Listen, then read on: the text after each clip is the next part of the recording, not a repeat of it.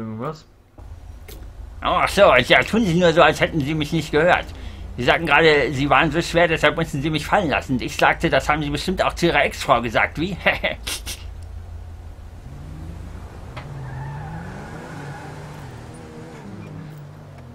ja, das hat er wieder nicht gehört. Ich verstehe schon.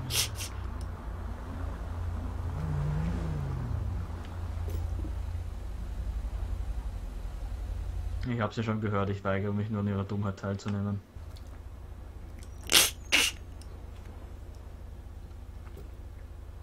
Oh, das hat Ihre Ex-Frau wahrscheinlich auch gesagt und dann hat sie die Scheidung eingereicht.